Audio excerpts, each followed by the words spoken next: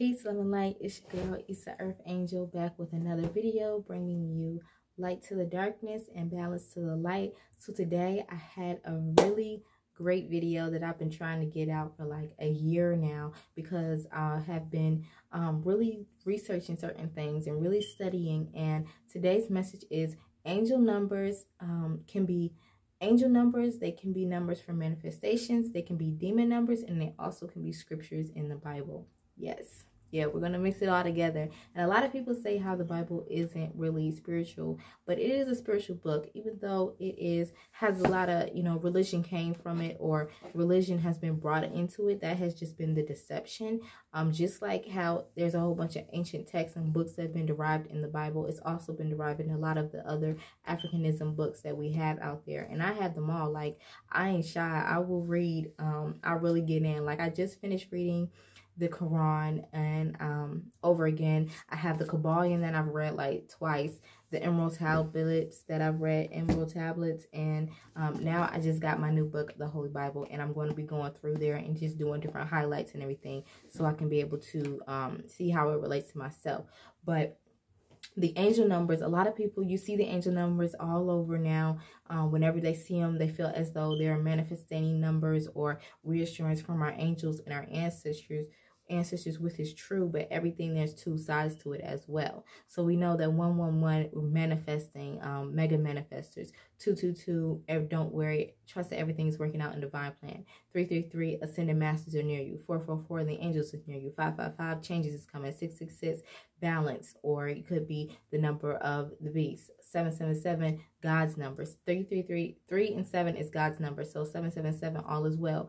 And, you know, you're in high favor or, you know, that's God number. 888, abundance. 999, completion. You know, we know them. We can look them up. Whenever we look them up, they might have similar, um, you know, meanings to them. So we're able to use those and we're able to see those. And because we have free will, because we have the power of manifestation or manipulation, we're able to make those things a part of our reality. So whenever I see an angel number, it might be a warning. It might be used as um a, a, a, demon number to you know if something bad is about to happen. But whenever i see that i shift the frequency and the energy and i'm like i know i see that 555 changes positive changes are going to happen not negative changes positive changes using the words and frequencies to speak things into existence because those things can be manifested at a higher rate especially when you're very spiritual especially when you're doing things behind the scenes and things are happening in the spiritual community or the spiritual realm that you don't know of you'll be able to be able to stop things and shift it.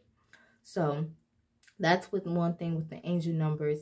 And then with the demon numbers, I felt like whenever I got into, I always was in numerology and I'm able to calculate the numbers and put them together, come to one common denominator and know what that means was one, independence, two is that union, three is that completion because there's three of them, and then four is that foundation.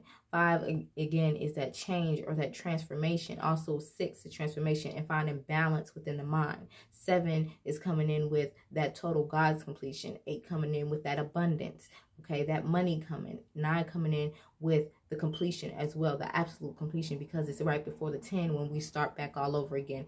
New beginnings, new changes, new environments. So, you know, whenever we see those numbers, we're able to manifest them into our reality. We know what they mean, but we can shift them and change them to be exactly what we want to see in our reality. But then when we went in with the gematria, that's when we started getting a little bit, you know, dark side because whenever I got into it, I was realizing that it was revealing a lot of what my my destiny might be. It was revealing revealing a lot to me of what was going on, but it was revealing the darkest things, you know, the things that was going in the background, the things that we can't see. So I realized that it was more of like the demon numbers that we were putting into the search bar, into the gematria gematria. So it's like demon numbers because angels speak to us and also demons speak to us.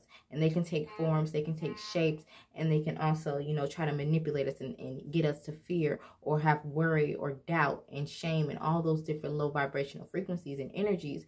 But they're they're there. So it's to be wary of it. You gotta think, what am I thinking of when I'm seeing that angel number? Okay. What's happening in my life right now when I'm seeing that angel number? Could it be an angel speaking to me or a demon speaking to me? Because you have to be able to discern, you have to be able to know know. And also, you got to realize that you're the one that can manifest those things into your reality at the end of the day. It's all about what you agree to, what you accept, and what you put your will for.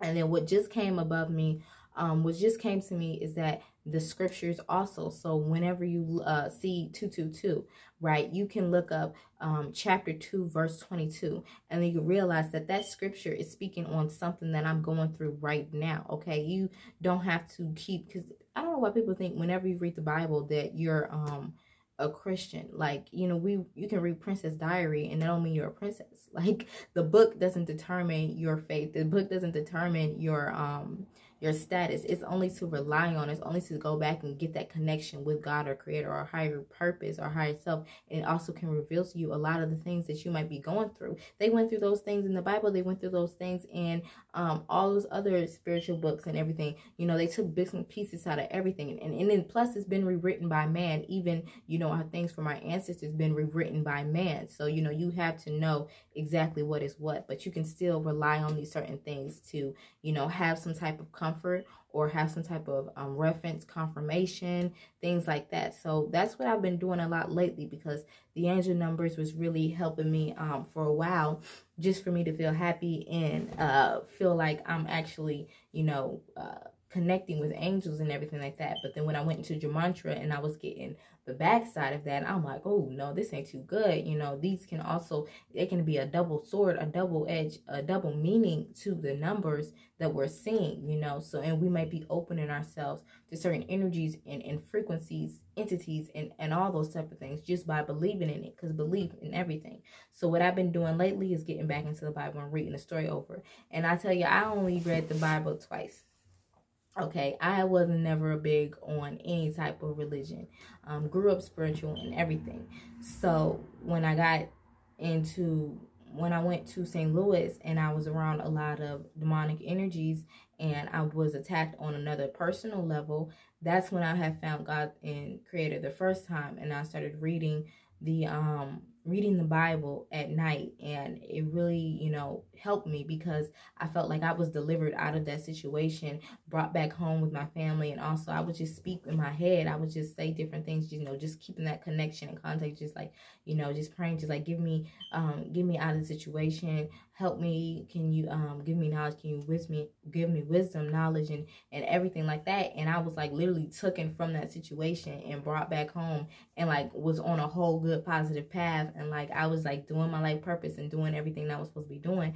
And uh, after I was deterred and you know leading into more doing certain things is in um you know different practices and traditions, things I had no business dealing with, then I got off my path once again. And so now I have bought myself a Bible and it's pink and I'm going to connect with this Bible and I'm going to be able to um you know, see where myself was in there because I also was Mary and Mary Magdalene in different past life where a piece of my my my spirit was in them. So, you know, even if they say that the stories isn't real, those experiences, uh, those stories are based on someone's life, based on a lot of the chosen one's life in different past times, past lives and everything like that. So there's always half truths and half truths to certain things. And so what I've been doing is looking up um, whenever I see an angel number, I look up the number um, of the chapter in the verse that is the triple digit of the angel number. And it's been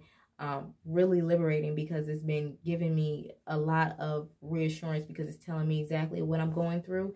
And it's also telling me a message um, from God or the creator or my angels that want to communicate with me. And I also have done that with the Quran as well. So you can use both of them to um, get a deeper message if you're getting the same thing over again and you're seeing these angel numbers over and over again. Why not look at another perspective? Why not, um, you know, see what the other side of it really is? You know, if you want to have the, the knowledge or the understanding and want to know like both sides of the both ends, and there's like the left path or the right hand path but if you're just like narrow and in the middle, you know, both of those things may apply to you and they may have some type of influence in your life. So that's what I've been doing. And I realized that, you know, it, it could be true. And it's it really resonates to me a lot. So that was my message today that angel numbers can be demon numbers to watch out and be warned for that. Angel numbers can also be messages from your angels, different signs that you're on the right path. Angel numbers can also be um, messages and angel numbers in the Bible that's telling you different scriptures and things you need to know. So that's my message today. Sending you lots of abundance and peace.